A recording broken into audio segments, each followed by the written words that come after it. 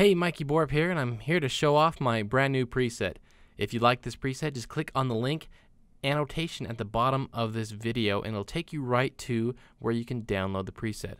Now, you can download it for free if you'd like, or you could pay some money. It's a pay what you want, and suggested price is a dollar. But if you can't afford a dollar, then just pay zero, and you can still get the preset. What this preset does is it takes the stock lens flare in After Effects and makes it look nicer.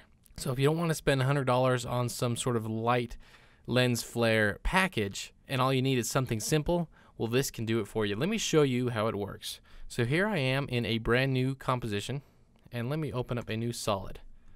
So to use this lens flare, you need to have it on a black solid. Click OK. And then all you have to do is go into your presets, find the Flare Plus preset, drag and drop it. And you can see instantly that looks better. Let me show you what it looks like without this one. Let me show you the stock one. Okay, so there is just the stock preset. There's the Flare Plus. See the difference?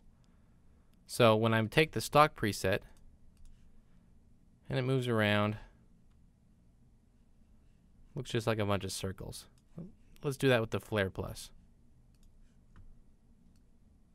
You can see there's some more movement. When it gets to the center, it brightens up like it's shining right into the camera. And overall looks just a whole lot better than the stock one. There's some cool color fringing going on. You've got these little little shoots of light coming out and they kind of rotate and move around. And it's just a more dynamic looking flare. So to use this, like I said, you put on a black solid and then let's put some footage. This is not the best footage for this, but just so you can see it on top of some footage. Then you take the black solid and you switch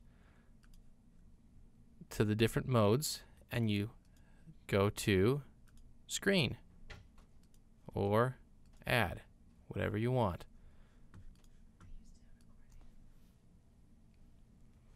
And you can easily move it around and that's it. So that is my lens flare preset. I hope you enjoy it and be sure to click on the link to go get it. If you haven't done so already, make sure you subscribe to the channel. And thanks. Bye.